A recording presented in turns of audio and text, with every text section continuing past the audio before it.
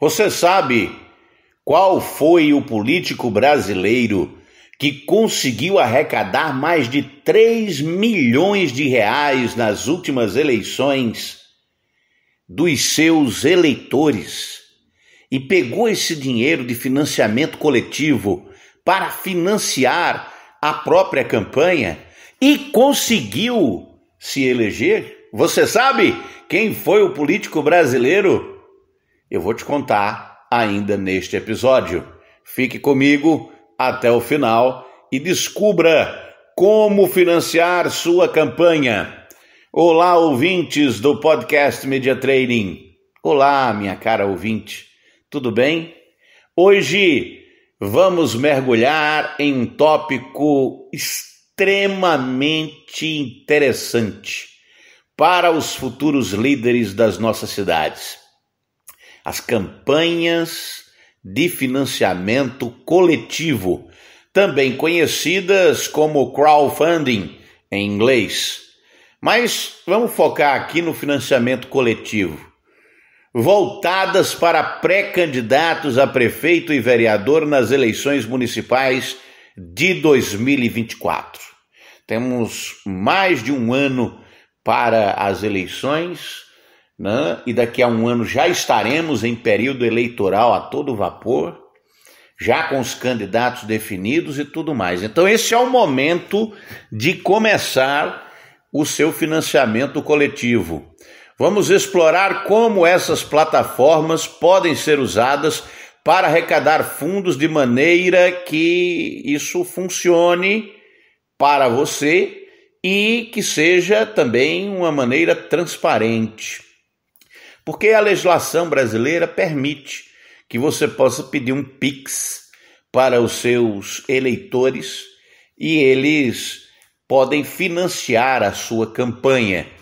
É legal, tem plataforma na internet que faz isso tudo automaticamente e eu estou aqui para revelar para você não só como fazer isso, mas também por que essa pode ser uma excelente estratégia, principalmente para alguns tipos de homens e mulheres da política, tipos que estão muito comprometidos em fazer uma campanha transparente e de alto engajamento com os seus eleitores.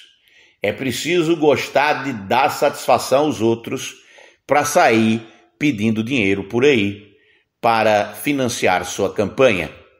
Primeiramente, é importante entender que o financiamento coletivo tem se tornado uma ferramenta cada vez mais poderosa para arrecadação de recursos em campanhas eleitorais. Mas a pergunta é: como os pré-candidatos podem utilizar essa abordagem de forma estratégica. Minha dica para criar campanhas eficazes e transparentes incluem: primeiro, definir metas de arrecadação realistas. Segundo, explicar claramente como os fundos serão utilizados. Terceiro, manter uma comunicação constante com os doadores, compartilhando atualizações sobre a campanha e suas propostas. Repare que para sair pedindo dinheiro aos outros você tem que ter propostas. Além disso, é crucial escolher as plataformas certas para o financiamento coletivo. Essa é a parte importante. Plataformas populares como Cidadão Participativo e Voto Transparente têm ganhado destaque proporcionando uma interface amigável tanto para os pré-candidatos quanto para os doadores.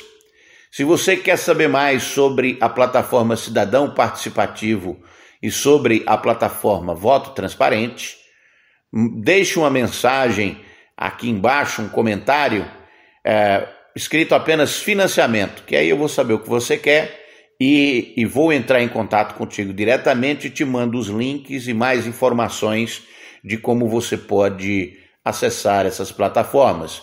Se você precisar de ajuda, eu posso também criar toda a campanha de financiamento coletivo que você é, quer usar e precisa usar. Para usar essas plataformas, os pré-candidatos devem criar perfis atraentes com fotos, vídeos e descrições envolventes das suas propostas e visões para a cidade. Percebe que você tem que criar um, um produto. Né? O produto é o candidato.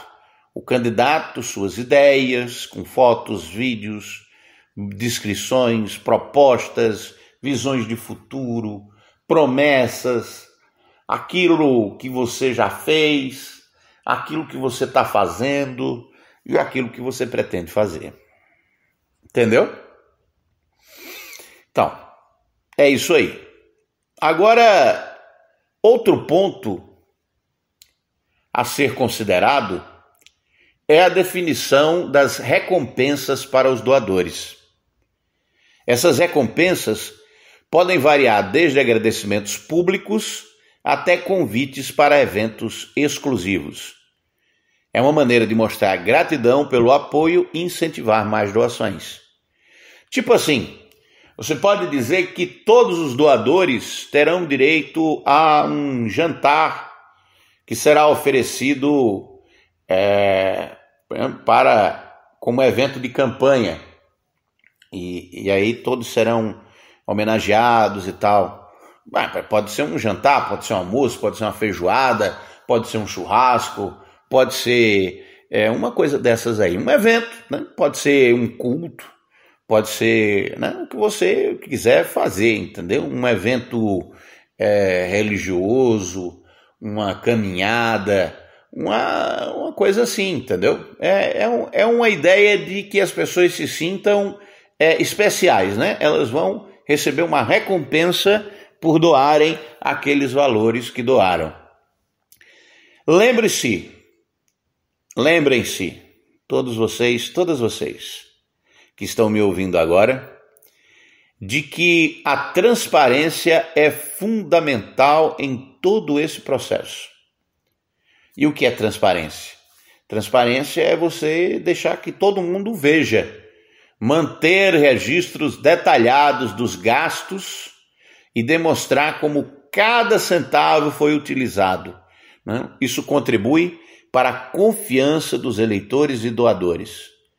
Então, quanto mais transparente você for com os gastos, mais doadores virão, mais as pessoas irão doar Quanto melhor for, melhores forem as recompensas, né? É, aí você tem que entender quem é o seu eleitor potencial e oferecer uma recompensa que as pessoas queiram, né? dentro da legislação, perceba. Olha, é, você já percebeu, né?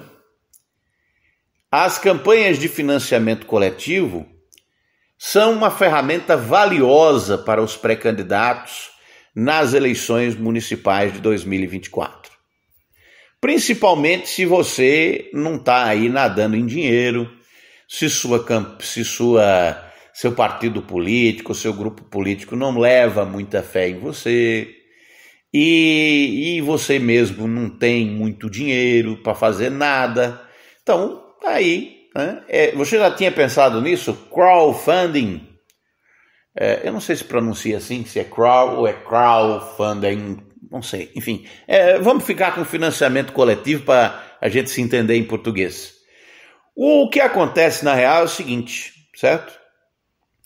Você vai falar pelas redes sociais, pela mídia tradicional, mandar mensagem, etc., conversar, fazer reuniões e dizer para as pessoas que votam em você, que te apoiam, que elas podem entrar na plataforma de financiamento coletivo e entrando lá elas fazem um Pix e o dinheiro é, vai para você. Né? E você pode usar esse dinheiro para financiar a sua campanha. você está financiando a sua campanha e vai dizer para elas como vai gastar o dinheiro, vai botar lá as notas, o que você comprou, tal, não sei o quê. Fazer uma prestação de, de, de contas contábil, assim, um negócio auditável, inclusive.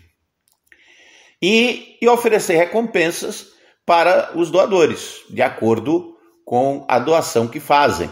Você pode, inclusive, fazer uma escala de recompensas de acordo com a doação. E, e aí você tem que ter uma meta de, de, de arrecadação realista, você tem que pensar sobre qual o valor que você precisa e qual o valor que você acha que pode conseguir. E aí você faz uma média disso e pega esse valor, põe lá e, e aí vai fazer uma campanha para conseguir o dinheiro. E acredite, se você tem boas ideias, vai funcionar. Você não acredita que as pessoas é, entram em financiamento coletivo para financiar campanhas? Ah, você vai acreditar porque eu tenho história para contar. Mas peraí, ó, ao seguir essas dicas que eu estou dando aqui e escolher as melhores plataformas, é possível arrecadar fundos de forma transparente e com resultados extraordinários fortalecendo inclusive a conexão com os eleitores e trabalhando juntos pela construção de cidades melhores. Porque você pode ser um candidato com financiamento coletivo dizendo que você vai ser independente, que você não vai mais é, é, ter que se aliar a, a fulano e a cicrano que sempre mandou na cidade e que se as pessoas querem uma mudança de verdade, elas precisam entender que elas têm que financiar isso, que elas têm que se envolver com dinheiro.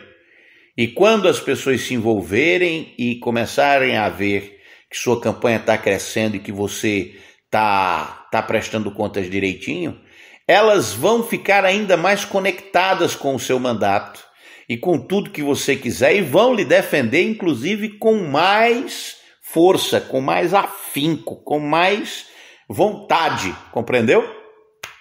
Porque você sabe que a gente sempre valoriza mais as coisas nas quais nós botamos dinheiro, não é?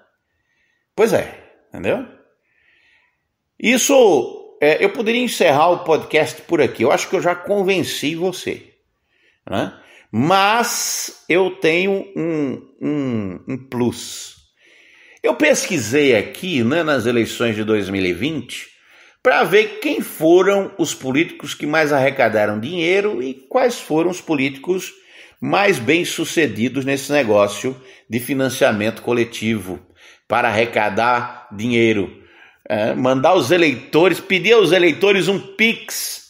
Sabe quem conseguiu 2 milhões e 300 mil reais nessa, com essa brincadeirinha de financiamento coletivo? a deputada Tabata Amaral.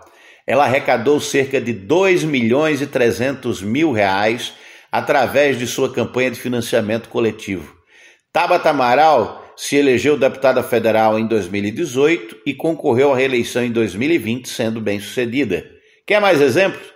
Davi Miranda arrecadou 136 mil por meio do financiamento coletivo. Ele foi reeleito como deputado federal em 2020 pelo PSOL no Rio de Janeiro. Kim Kataguiri, integrante do MBL, o Movimento Brasil Livre. Kim utilizou o financiamento coletivo para sua campanha à reeleição como deputado federal em São Paulo, arrecadando mais de 115 mil reais. Felipe Rigoni arrecadou mais de 222 mil através de financiamento coletivo, ele foi eleito deputado federal em 2018 e concorreu à reeleição em 2020, sendo novamente bem sucedido. Então lembre-se que os valores arrecadados eles podem é, variar de acordo com diversos fatores, como o alcance da campanha, o número de apoiadores e o cargo em disputa. É importante que você perceba que as eleições de 2024 são em cidades, né? E aqui eu estou dando exemplos. Desculpem. Aqui eu estou dando exemplos de, é, de candidatos que, que concorreram a cargos eletivos nas eleições gerais. As eleições, as próximas são eleições